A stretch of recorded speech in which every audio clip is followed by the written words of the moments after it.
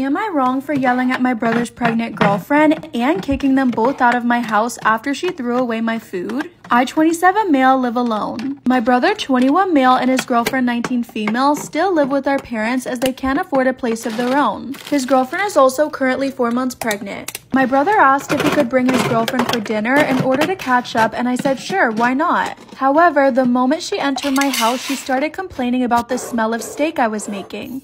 She said just the smell alone makes her nauseous and she can't eat it.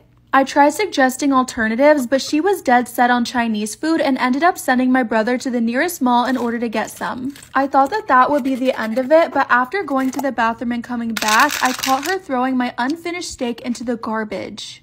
So of course, I asked her what the hell she was doing, and she said the smell was so strong she thought she'd end up throwing up on the floor. So she said she needed to get rid of it and then started spraying a perfume from her purse in my kitchen.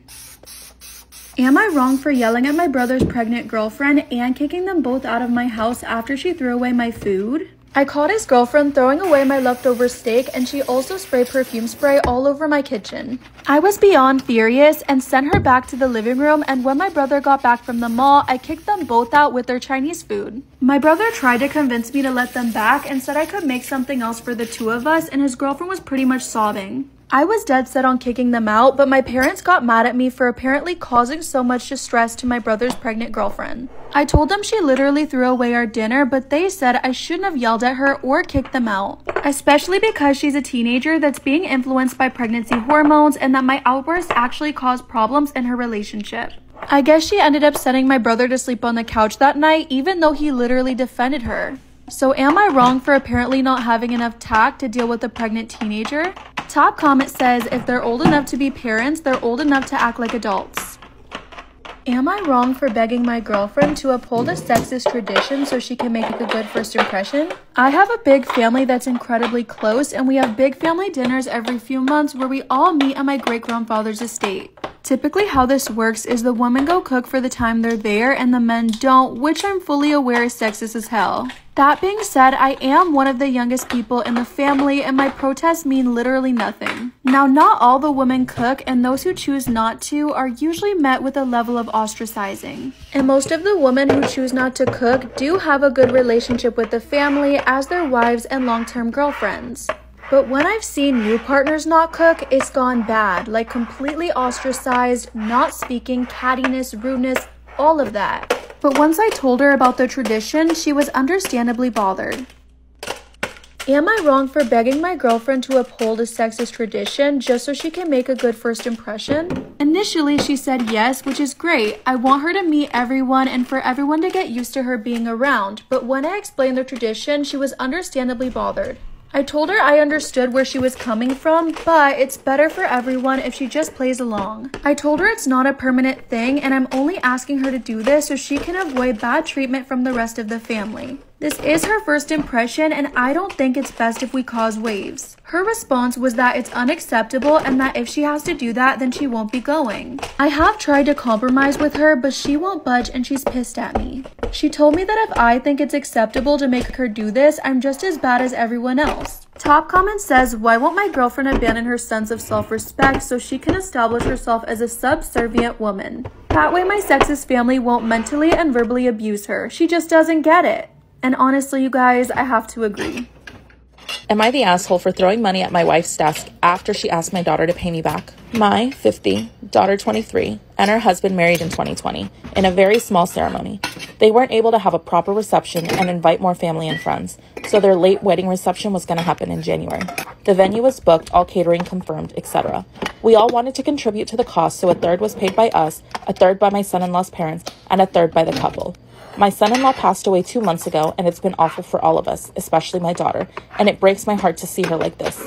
We are all with her, and she is learning to stay strong. A couple of weeks ago, my wife casually mentioned that maybe I should ask my daughter to return the portion of the reception costs we contributed, since it's no longer happening.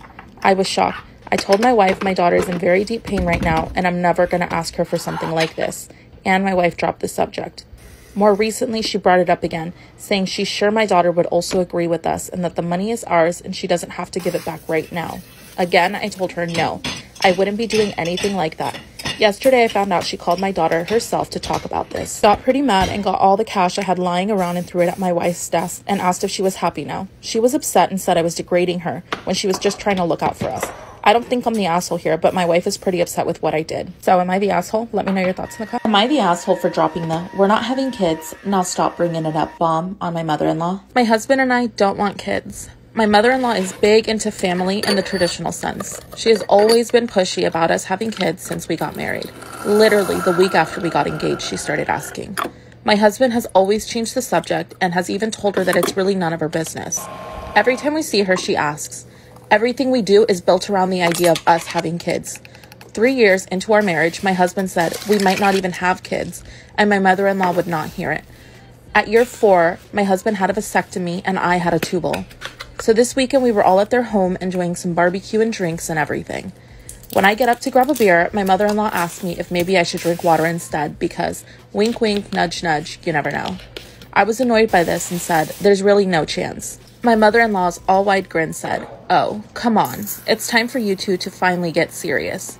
Put down the beer and tell us when we can finally expect you two to make your family official. My mother in law gets real annoyed and says, Well, you won't be real, uses the last name, until you bless us with babies. My husband said, Mom, enough. My mother in law pushed again, and my husband repeated. After about 15 minutes of the usual comments, I finally snapped and said, Mother in law. Part 2. Am I the asshole for dropping the we're not having kids, now stop bringing it up bomb on my mother in law? I finally snapped and said, Mother in law, husband got snipped, I had my tubes tied. We're not having kids, you need to stop bringing it up, period. Well, I thought I started World War III. She started crying and stormed off. Family looked at us with disgust and stormed off to comfort her. We left. The party kind of ended and the social media bullshit started shortly after. Vague posts, links about how motherhood is a woman's greatest calling, articles about how unhappy childless women are, etc. Some meme about how I guess I wasn't a good enough mother, so I won't be graduating to grandmother. It's obnoxious to the point I just muted all of them. My mother in law finally called me this morning and told me that she was willing to put all of this behind us if my husband and I came over and listened to her reasons that we really needed to have kids. I told her no and that we were tired of being pushed into this. And she said, Well, then I guess you two aren't really prepared to be real. I'd like a refund for what I paid for the wedding.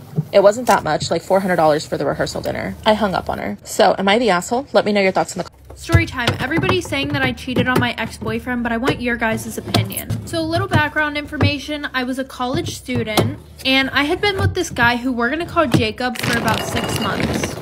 Towards the end of his and I's relationship, stuff just started to get really boring, and every day I would get the ick from him. Now, at this time, also, I had gotten a new job. While I was working, I had met this guy who we're gonna call Tim. Since I was a college student, I decided to start working more, so Tim and I would see each other literally every day. Him and I really hit it off, like straight away.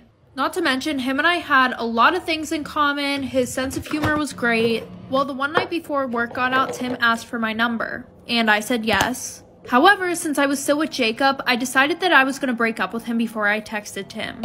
So I broke up with him. Fast forward to now, Tim and I are in a super good relationship, but now everyone's saying that I cheated on Jacob. What do you guys think? Story time about how my stepdad made my mom choose between him and my brothers. So, a little background information I was 13 years old and in seventh grade, and I had two older brothers, Josh and Alex, who were twins, and they were both four years older than me. Whenever I was three, my dad left my mom for his dentist. And we never saw him again because he decided to start a whole new family with them. Now, because of that, my older brothers always felt like they had a specific role in my family, especially because the guys that my mom brought home, they would only last a week. Well, finally, my mom met this guy who's really nice, and she decided that she was going to get married to him, but he despised my older brothers. Mainly because before he moved in with us, my mom would not depend on him for anything. Anything that needed taken care of around the house, my brothers would do it. And we didn't have too much money while this guy was loaded. Like the one time my mom and this guy, who we're gonna call Jerry, got into a fight. Like for part two.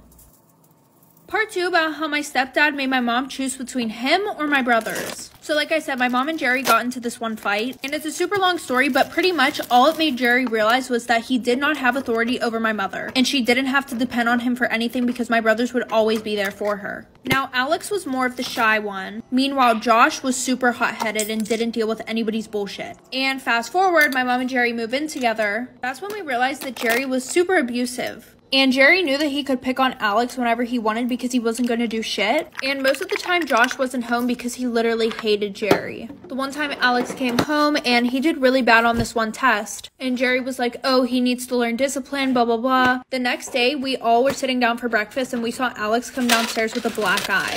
And that's whenever Josh flipped the fuck out. He grabbed Jerry, ripped him across the fucking table, and threatened him with a kitchen knife. And my mom called the cops, like for part three part three about how my stepdad made my mom choose between him or my brothers. So like I said, he said he needed to teach some discipline, so he literally beat the shit out of Alex. And we all didn't know until he came downstairs the one morning for breakfast. And that's whenever Josh flipped the hell out. He threatened Jerry with a knife. After that, my mom called the cops. I didn't really do anything but try to de-escalate the situation. But after that, Jerry called a family meeting down to the kitchen table and he was like, I will not deal with this level of disrespect in this house. He was like, You need to choose between me or them. She was like, Well, I'm not going to choose between you or my kids. And he was like, Well, then you need to choose them leaving the house. They're about to be 18. They can leave and get their own place. So my mom ended up choosing Jerry because Jerry had a lot of money. And my brothers weren't really that mad about it because it got them out of the house. And my mom would send them a lot of money every month. And Jerry never knew about it. But now instead of him being abusive towards my brothers, he's way more abusive towards my mom.